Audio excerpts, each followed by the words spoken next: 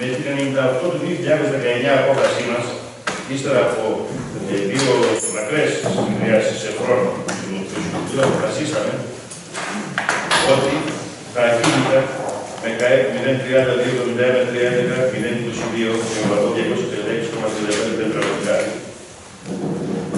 Ε, το ΜΚΑΕΠ 030-271-311-002 με 84,45 τετραγωνικά. Και τέλος, το ακίνητο ΜΚΑΕΠ 032-071-310-027 με πρωτού 1450,21 είναι κατάλληλα και μάλιστα τα μοναδικά κατάλληλα για το σκοπό της δημιουργίας ενιαίου υποπέδου για έγκριση δημαρχείου. Επίσης, αποφασίσαμε και ορίσαμε την έναρξη των διαδικασιών για την αγορά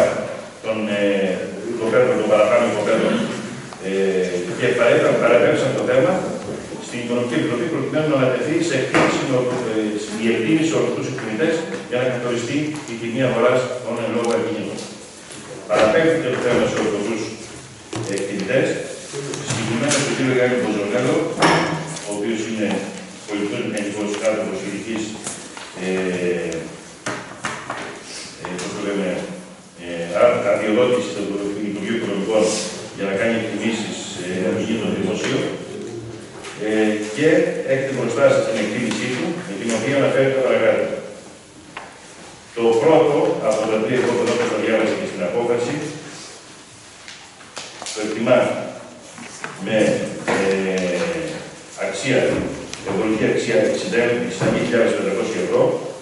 το δεύτερο με ευρωπαϊκή αξία 61.000 ευρώ και το τρίτο με ευρωπαϊκή αξία 104.500 ευρώ, συνολική αξία 227.000 ευρώ για το τρία υπόθεση. Εισηγούμε, αφού κάνουμε αποδεκτή την έκθεση εκτίμηση της αγοράς αξίας, να συνεχίσουμε τι διαδικασίε για την αγορά των παραπάνω υποπέδων, ενοποιώντα τους ιδιοκτήτες τους την έκθεση εκτίμηση και την πρόταση του Ευρωπαϊκού Δήμου για αγορά των λόγων υποπέδων, να δει ακριβώς αυτό το ποσό που αναφέρονται στην έκθεση